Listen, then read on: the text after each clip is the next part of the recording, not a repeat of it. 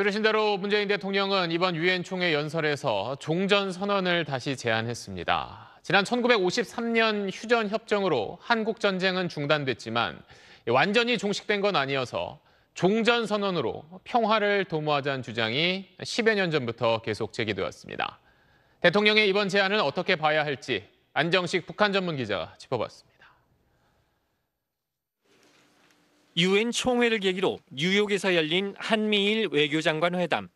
회담을 마친 정의용 외교부 장관은 종전선언 논의가 이뤄졌다고 밝혔습니다. 어제 대통령께서 하신 종전선언, 뭐 북한 문제 이런 것도 좀 얘기하셨나요? 아, 물론 예. 미 국방부도 긍정적 반응을 내놨습니다. We're open to discussing the possibility of an end of war declaration. 하지만 외교협상 주무부처인 미 국무부는 종전선언 입장을 묻는 SBS 질의에 북한의 적대적 의도가 없다는 등의 원론적 입장만 밝혔습니다. 한미 외교당국의 보도자료에도 종전선언 언급은 없었습니다.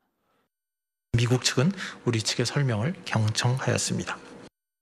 동맹국 예우 차원에서 논의는 열어뒀지만 미국이 적극적이지는 않은 것으로 보입니다. 종전선언의 또 다른 당사자 북한도 마찬가지입니다.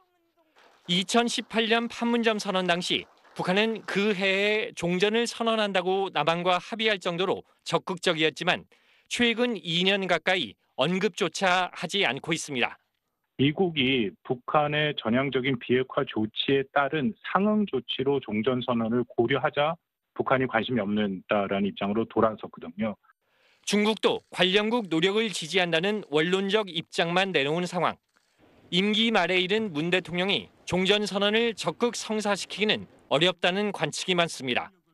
다만 문 대통령의 이번 제안이 저강도 도발을 하면서도 협상의 판을 깨지 않고 있는 북한에게 대화의 계기로 작용할지 주목됩니다. SBS 안정식입니다. 네, 안녕하십니까 김현우입니다. 더 많은 뉴스와 라이브 이벤트를 보고 싶으시면 화면 오른쪽을 눌러서 구독해 보시길 바라겠습니다. 또 저희 SBS 앱을 다운로드 하시면 속보 알림도 받아 보실 수 있습니다. 항상 저희 SBS 뉴스를 시청해 주셔서 대단히 고맙습니다.